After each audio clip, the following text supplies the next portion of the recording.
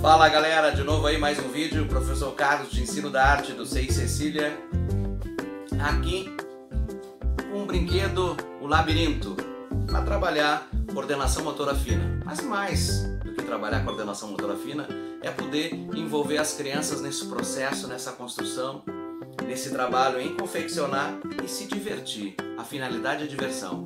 Hoje eu estou um pouco chateado, porque hoje eu não estou com meu... Opa! Tá aí meu parceiro. Veio para jogar? Sim. Mas vai me ajudar a construir, ajudar o pessoal a construir? Sim. Vamos convidar eles lá? Vamos construir o labirinto? Sim, sim. Vamos lá, pessoal!